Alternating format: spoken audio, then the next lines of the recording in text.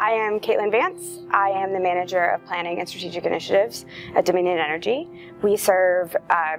part of Virginia and a little portion of North Carolina as the transmission owner. Uh, we also uh, own distribution and generation assets in, in that footprint as well. And I'm Andrea Pincetti. I'm an engineer at Dominion Energy in the Electric Transmission Strategic Initiatives Group. And I do work on uh, running several different types of simulations uh, to address operational challenges on our system. We purchased our first RTDS uh, simulator in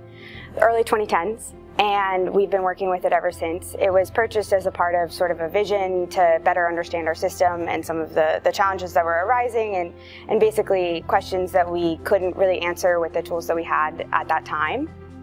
Some of the, I guess, like main drivers that like really uh, showcase the power of RTDS and like uh, the value of it uh, for us was a lot of like the hardware in the loop capability for protection studies as well as uh, for under, better understanding uh, our FACTS devices in our system. Uh, so we do have several controller replicas that we're able to interface with RT, the RTDS to better understand how these devices actually behave under different scenarios and system conditions. And that's really been like again like one of the main drivers that really made it so that like we continue to pursue RTDS and invest in this technology. Um, and similarly now we are at a point where obviously with the increase of penetration of IBRs, inverter-based resources, we are starting to uh, kind of needing to also do this similar type of testing and uh, understanding for these inverters. Uh, and so a big push in the future for us will be to, again, understand better these control algorithms and how they behave under different conditions and how to better optimize it uh, for our system.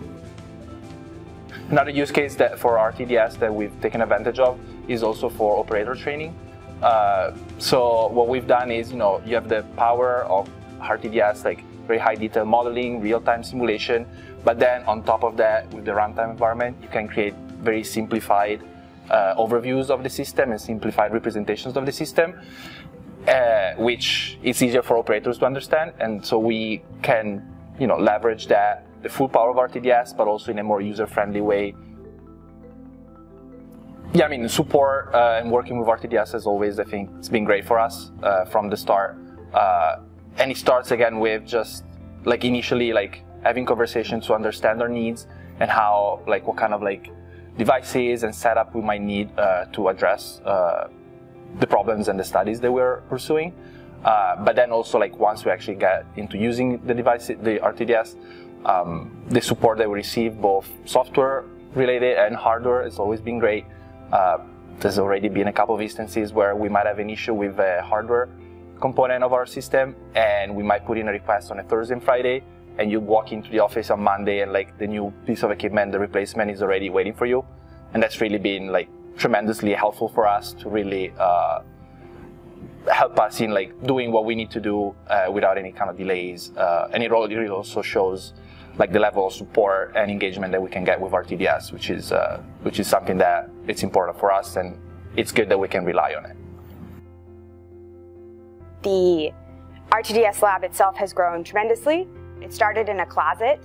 and now it has a really wonderful uh, facility surrounding it and has expanded significantly to not only interact with protection devices, but now to also interact with our uh, FACTS device replicas that we have on site so that we can better understand uh, upgrades to the FACTS devices, um, questions that we have about things that are happening in the field. As part of the build out of the RTDS system that we have, uh, a portion of that is so that we can model more of our system uh, in this environment to help with system restoration as, as a part of uh, supporting dynamic analysis when the system is particularly fragile.